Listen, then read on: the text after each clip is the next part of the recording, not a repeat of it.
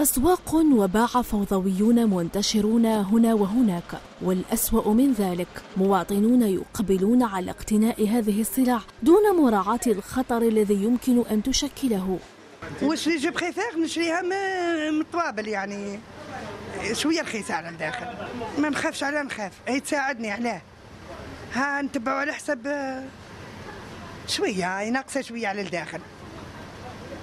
يعني ما صبت فيها حتى ضرر. والو. ماشي خاطرش الإنسان ما يدريش واش les dates كاين فيهم أمور كاين ماشي مش عند البيشري تسمى حاجة راهي باينة هنايا ب les dates تاعها وفي les frigos كلش راه منظم. كاين ولا مساكن يحطوا في ساعة برا ما عندهمش وينات وين يحطوا يحطوا برا يبيعوا. بصح ماش كيما مواد غذائيه ما تستعمل في الحانوت ما تستعملش برا. كاين الحاجة اللي تستعمل في الفريكو كاين الحاجة اللي تستعمل مش logique تبيعها برا.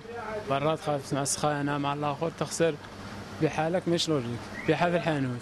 عدم احترام معايير التبريد والنظافة من طرف التجار خاصة وفصل الصيف على الأبواب. تجعل من هذه السلع قنابل موقوتة موجهة للمواطنين. المستهلك عنده شطر من المسؤولية كبير.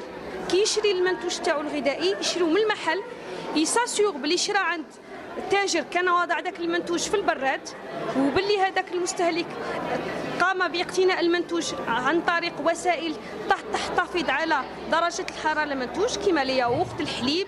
رغم الأخطار المترتبة عن اقتناء المواد الغذائية من الأرصفة إلا أن المواطن يجد نفسه مرغما على التوجه إليها خاصة وأن قدرته الشرائية تنهار يوما بعد يوم.